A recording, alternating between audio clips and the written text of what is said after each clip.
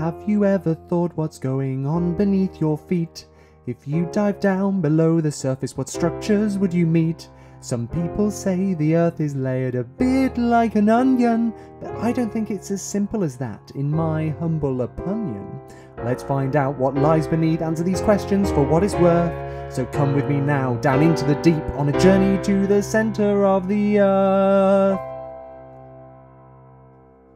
From the crust to the core, there's so much to explore. Just sit back, let's see what's in store.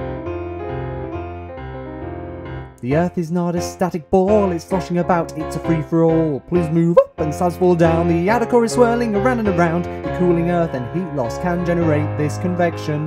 But we ourselves can't go down there, we need another form of detection.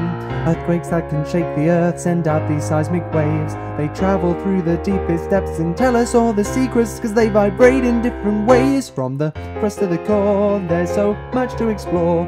Earthquakes make seismic waves galore. P waves vibrate forward and back in the direction of their track. The fastest waves of them all, always the first to come to call. S waves they are transverse and they wiggle side to side. They can travel through solids, but it's liquids they can't abide. When these waves hit boundaries, they can reflect or refract or convert, making more phases. There's PKIKP, Pdiff, PDS. I'm losing track from the crust to the core. There's so much to explore using P waves and S waves and more. Let's start off at the center. I know some iron went there. That's what forms the core. It's true. It's split into not one part but two. The inner core is solid and grows slowly bit by bit. The outer core is liquid and makes a field that's magnetic. That's because this conducting metal is spiraling about. Without this field, we'd have no solar radiation, protection, and complex life. There'd be out from the crust to the core. There's so much to explore. We know more than we did before.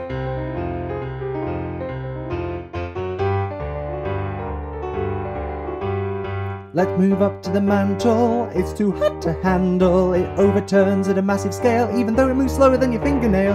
At the core mantle boundary, there are anchors for mantle plumes. Then deep mantle mount is made of something different, one assumes. Far above them's an important layer called the mantle transition zone. Imaged by converted phases, what more will these waves find? We're stepping into the unknown. From the crust to the core, there's so much to explore. The mantle's mysterious for sure.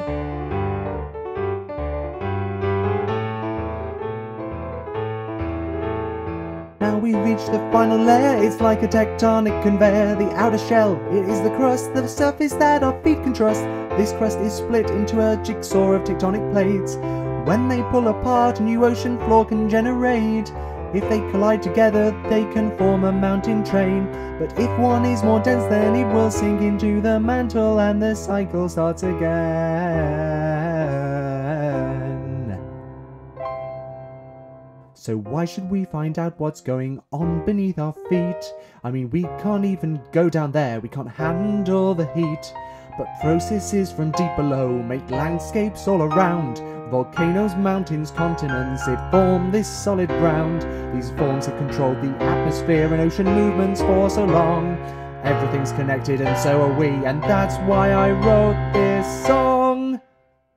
From the crust to the core, there's so much to explore. You got more than you thought you'd ask for. From the crust to the core, there's so much to explore. This is the last chorus, it's all down there for us. We're deep earth explorers for sure.